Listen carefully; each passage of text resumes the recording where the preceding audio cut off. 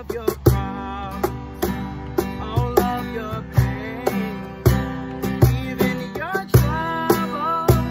You can give it to Jesus.